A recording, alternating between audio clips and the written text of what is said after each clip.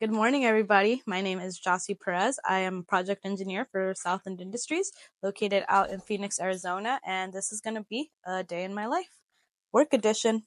Our project executive brought in bagels for the entire team, so here I am enjoying a bagel prior to putting on my PPE and heading out. Today is Friday, so we are going to go on a job walk with the field and just catch up and see how everything is going. One of my favorite things about working with Southland is I get the opportunity to go out and walk the field and comfortably ask all of my field leads questions about the scope and equipment that they're working on.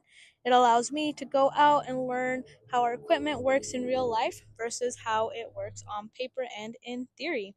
After our walk, we headed out to lunch, so the team went and sat down. We decided to share some deviled eggs, which were absolutely delicious, and I grabbed the smash burger prior to heading back to the office.